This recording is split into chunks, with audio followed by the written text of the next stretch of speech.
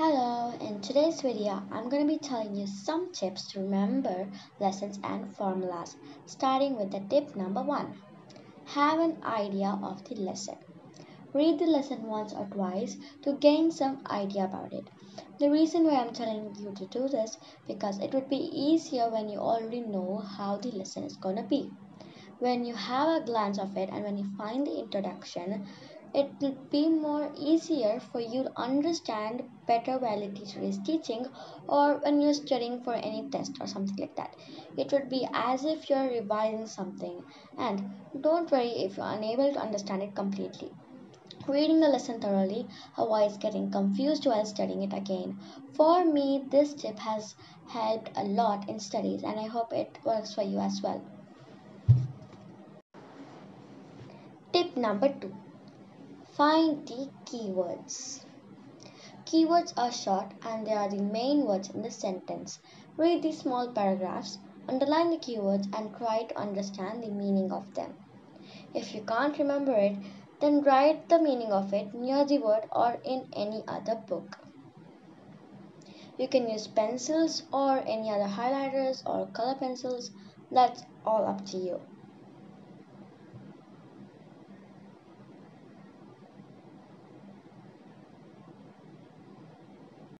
I underline all the words that I feel is important. If you have a sentence that is important, you can mark it as important instead of underlining the whole sentence.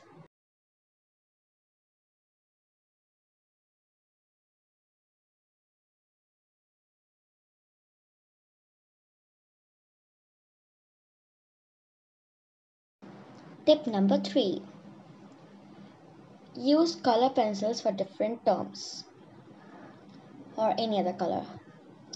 What I mean in this is that history subjects like history have a lot many uh, different divisions in that like um, the name of the year, the name of the person or the name of the date, something like that. I use a particular color for the name of the year, for the name of the person and for the name of the date. For example, if it is a um, name of a person, I use red or if it is a name of the year or the year I use pink or any something like that. This is more catchy to your eyes. When you see the color you get to know that oh this is the year. Oh my god this is the name. Yeah so making this is quite easy for you to just have a quick glance at the last minute while you're revising for your test or exam you can also draw boxes if you want or you can also use pencils and if you have a column that is um, next to your page or if you can draw a column next to your page um, write what is important write the important points if you want to it's up to you Tip 4. This is my favorite and it is a usage of flashcards. There are two flashcards that I do. The method one is just tearing a paper, writing the definition, I mean the writing the term in the front and the definition in the back. That's quite easy actually. The second one is when I do I have a lot of time. And this is the method 2. So you may be having a doubt that how to do this. I actually um write the question write the subject then the question and then when you open the page you can see the name. And i also stick a sellotape behind so that i can stick it wherever you want or wherever i want. Yeah. So how to make this? Take a paper and fold it into half. Um, yeah. Now fold it into half and tear it and then again fold it and tear it. And now fold it and make a mark of the half and then fold both of them equally so that you can open and close just like that. I hope you understand. And i guess you have understand by understood by now. I am using a sketch pen for writing the subject and a um, black pen for writing the question I have actually written science here, but it's actually geography. I'm sorry for that. And I'll write the answer over there like that. And this is the question. What is sial or sial? It is silica plus aluminium.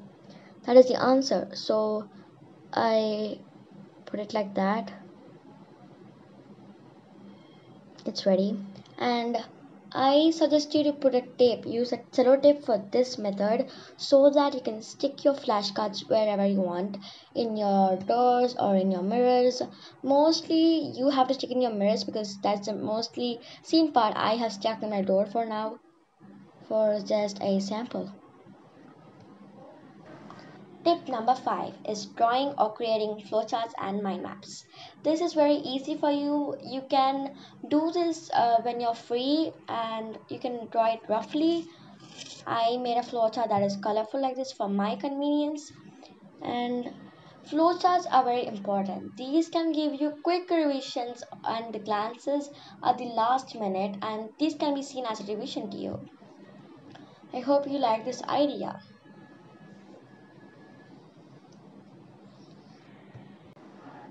Tip number 6. This tip is for any subject with calculations or formulas like mathematics and physics. So what you gotta do this is simple. Take a note of it. Now, this subject has so many formulas and calculations. To remember it, it is a bit hard. So you can write down the formulas that are difficult and confusing to you in a sticky note or a sheet of paper. This is a simple task. You can do it whenever you're free or whenever you do your homework or any time that you are comfortable. So all you have to do is do this and have some motivations that you need and um, practice a lot every day. So we are going to come up to the end of the video. I hope you enjoy this video and I feel that some tips are helpful for you. Bye for now. Thanks for watching and please subscribe.